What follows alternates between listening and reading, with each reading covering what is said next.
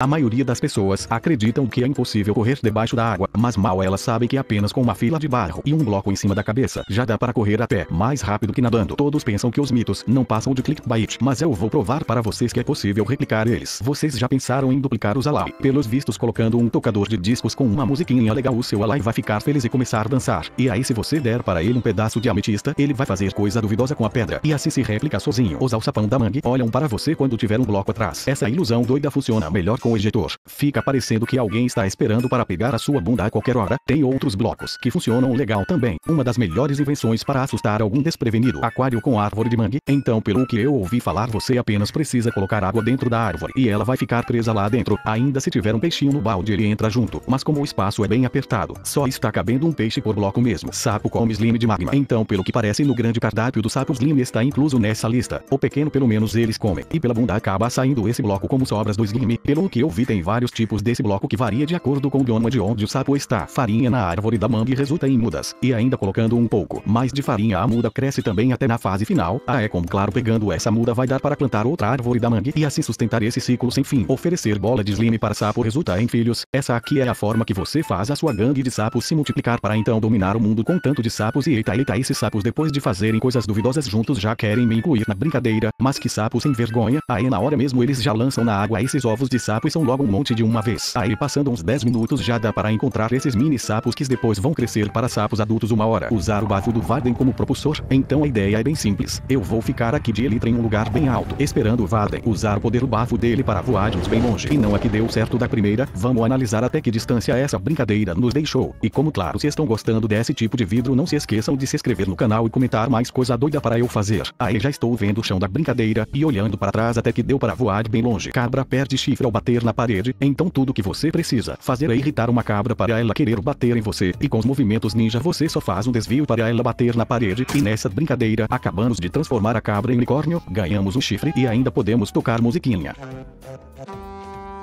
É impossível fazer MLG em folhas, até porque a água sempre vai entrar dentro delas e nunca vai dar para conseguir tocar na água. Os sensores não detectam você se correr agachado. É bem isso é que eu ouvi falar. Você andando normalmente os sensores vão avisar os inimigos para não perdoarem a sua bunda. Mas se você começar a correr, pular e no meio do ar agachar e continuar desse jeito, os sensores nunca vão perceber a sua presença. Desse jeito agora ninguém nunca mais vai ser pego pelo Varden. O novo bloco reforçado segura um Viter dentro. Na minha época se alguém falasse algo assim já tomaria bicuda por falar algo tão absurdo. Pelos vistos esse bloco dessa atualização já consegue segurar um Viter dentro sem nenhum problema. Vamos ver se é verdade. É parece que a coisa é bem verdade mesmo. Tem sacola no Minecraft. Então pelo que eu fiquei sabendo, esse é um item completamente escondido na nova atualização. Não tem nem no criativo nem como craftar, mas usando apenas esse comando delicioso, você recebe essa sacola, em que dá para guardar até 64 itens. Você pega a sacola, botão direito em cima do item, e os itens entra dentro. Simples assim. Comando milagroso das estruturas. Com esse comando aqui, você consegue literalmente spawnar qualquer estrutura do Minecraft em qualquer lugar sem nenhum problema. E acabamos simplesmente de spawnar uma cidade do End no mundo normal, coisa que é tudo menos normal de acontecer. Tentar colocar uma fortaleza também no mundo normal, e tá dando para colocar qualquer coisa em qualquer lugar mesmo. TNT dropa todos os itens. Essa é das coisas que eu mais duvidei. A partir de agora então, quando eu largar uma TNT em qualquer canto ela vai simplesmente dropar todos os blocos que ela quebrar, e parece que os malucos não estão para brincadeira, normalmente iria dropar 5 terra ou algo assim. Agora minerar na base da TNT acaba de se tornar real. Deixa ver aqui se funciona para minerar diamante também. É parece que está dropando sim. Para que picareta de ferro se posso simplesmente explodir tudo né? Impossível matar o Varden com queda. Então pelo que eu ouvi falar mesmo levando o Varden do ponto mais alto possível até o ponto mais baixo possível do mundo, ele vai ficar de boa. Porque isso não é nem um pouco suficiente para acabar com ele. E pelos vistos isso é verdade então os malucos não estavam brincando quando decidiram adicionar dificuldade no jogo. Os Varden fazem o Viter sumir. Então agora acabaram de me falar que se eu colocar um Viter para tretar com muitos Varden de uma vez eles vão simplesmente soltar um ultra bafo que vai jogar o Viter lá para a casa da mãe do Dakota. E essa aqui não está muito aprovada não. Conseguem jogar ele um pouco para longe mas nem tanto assim. O sapo pode ficar colorido. Então como todos devem saber, colocando em uma ovelha o nome de Gel, ela fica toda doida trocando de cores. E pelo que me falaram, o sapo agora faz a mesma coisa.